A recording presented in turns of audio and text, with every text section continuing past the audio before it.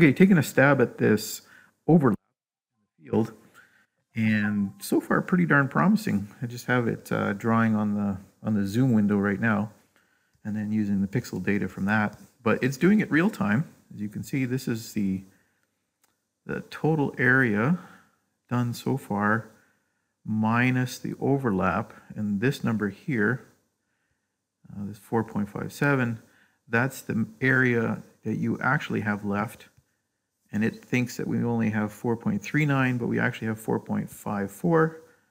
Um, the percentage of only done once is 96%, so that means about, what, 3.8% is overlapped. And you can see that there isn't much overlap, just a little bit in the corners here, and then where I overlapped on doing the headland. But uh, we'll come back when the field's done and, and see how it works out. Okay, this is where the fun begins now. So it thinks we have 0.78 left. We actually have 1.04 hectares left based on the not overlap. But there it'll turn on in the corner. Try to catch that corner. It'll turn and catch that triangle. See that guy go down.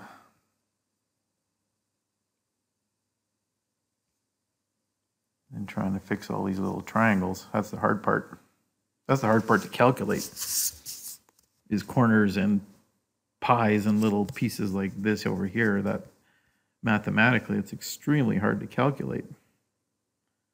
The interesting thing is I have an 800 by 800 uh, OGL zoom and it's amazing how it shows much more detail but that says 96.3 and at 200 and 200 it still is the same number so I thought needed a huge OpenGL background, which takes a lot more time. You can see the the numbers here is you know, like quarter of a million uh, pixels versus 20,000 pixels. Well, you can imagine which one is is faster in the background if you want to do it real time, and it is doing real time.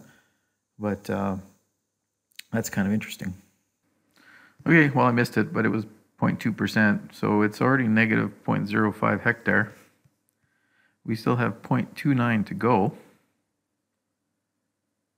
even though we've ex exceeded the actual, this is the field area and this is the what we've done so far. This is what's actually been done minus overlap, and that's actually what's left. So hopefully this number hits zero when the field is done. We'll just have to wait and see.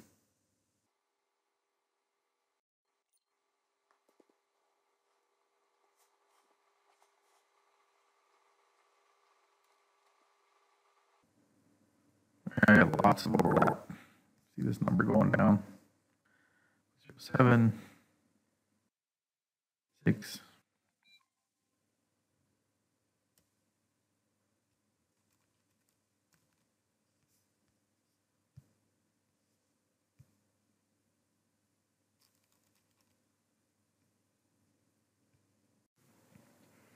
Okay, so it's all done here, and it says it's 0.04 hectare, and you're probably wondering why 0.04 hectare. That's only 40 square meters, which isn't a lot. Um, but if we made the outside boundary came in 20, 20 or 25 centimeters, so that little distance adds up all the way around the outside. So that is really stinking accurate. And there was another little corner. And then using it with the high resolution, like 800 by 100, it says 0.03.